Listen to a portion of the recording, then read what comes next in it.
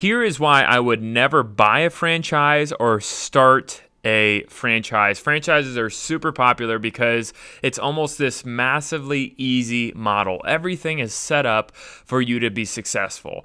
The menu's already set up, the ingredients, the recipes. If it's a food franchise, all these franchises, they say it is so much harder to fail when you start a franchise. And that may be true. But I'm going to tell you something that a lot of people may have not thought through when it comes down to the actual money that you are profiting. You see, most franchises take anywhere from 4 to 6% of the gross sales. Okay, so four to six percent of the gross sales has nothing to do with the profit, and a lot of people don't look at that. They just look at, oh, a I'm not going to use an example, but XYZ franchise brings in a million a year. Well, where the issue is, and I've reviewed a lot of franchises on my YouTube page, so go check them out if you want to actually review them of how much you could actually make. But the profit margin for a lot of these franchises is around 15%. Sometimes you can get to 20%, 25, but a lot of times it's around 15%.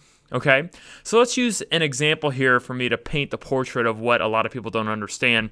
Let's say a franchise is doing a hundred or a million dollars in sales and let's say there's no franchise fee, right? 0% franchise fee.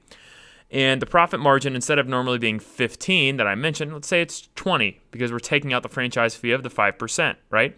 So a 20% profit margin, they're making 200 grand profit. So that means you have a million in sales, you're profiting 200 grand. Great. That's fantastic. But let's add back in the franchise fee. Well, the franchise fee is 5% of the gross sales. So 5% of the gross sales is gone.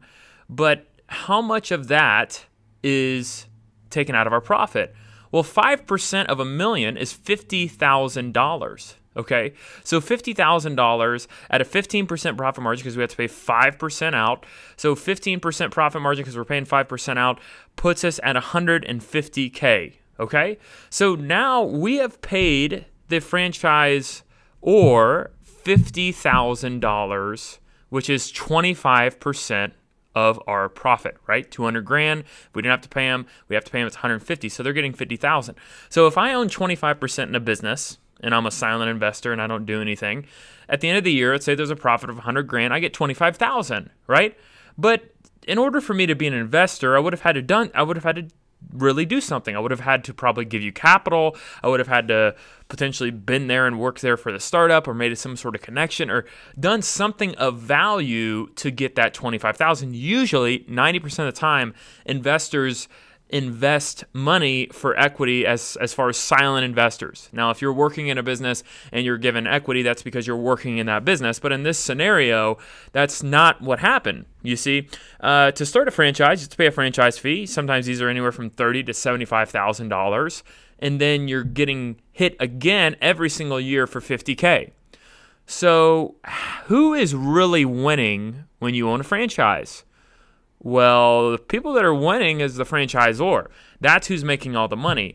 So, you know, the conclusion here is that it is not as great of an, as an idea as you can possibly imagine because let's say instead of paying a franchisor to get or to get started, you have that 50,000, you could probably invest in a local marketing company or a national marketing company and a food consultancy company to get your menu, to get your recipes, to get your branding and your marketing down. You could invest a lot of money with independent third party consultants to get your business off the ground and running.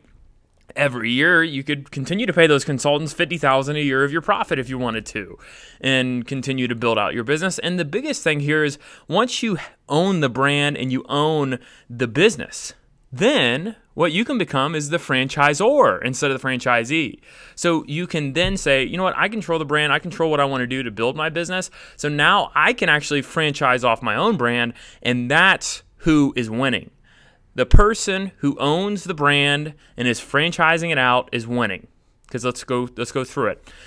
They didn't have to purchase the land, you did. They didn't have to purchase the building or build it or build out the suite, you did. They don't even have to purchase their own product. They have relationships that they make sure the product is bought through. They have that. But let's face it, you're paying for the product. You're paying for your employees. You're paying for the material. You're paying for the chairs, the furniture. You're paying for literally everything. And on top of paying for everything, you're giving them a franchise fee, a consultancy fee, right? So, and then you're stuck in bed with somebody who's probably got 25% of your equity in the franchise with very limited liability if you look at the contracts, right? So, you're taking 25% equity for a silent partner that you that has given you nothing except for some trademark systems that may or not be worth the 50,000 a year plus the franchise fee at the beginning. And now you're stuck with them in case something goes south. You can't use the brand that you want to because they're protecting their brand and image right? So you're you are stuck and pigeonholed into being married to a franchisor.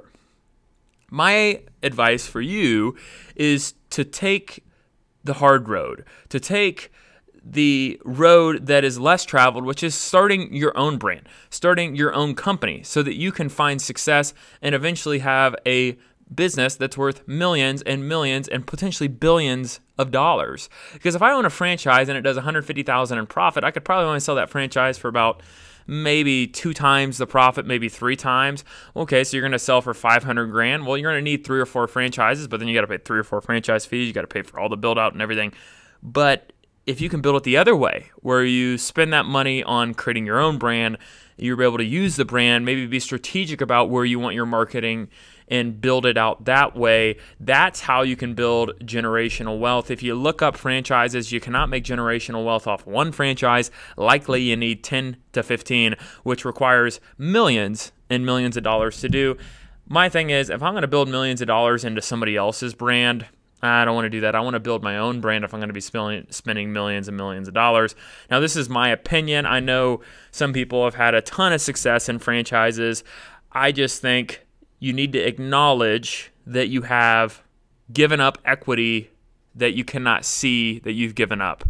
You may own 100% of your LLC that owns the franchise, but you have an equity partner that you have to pay every year, regardless of where your profit is. You could have profited nothing, but you paid out the 5 to sometimes 10% franchise fee. So the higher the franchise fee is and the less your profit margin is, the more that they have equity in your business that you don't even know about that you're paying out every single year. So be smart when it comes to this. And if you have questions about other businesses that I believe I have a lot of businesses that I reviewed on my channel, but if you specifically have any questions of like, hey Nate, what business should I start?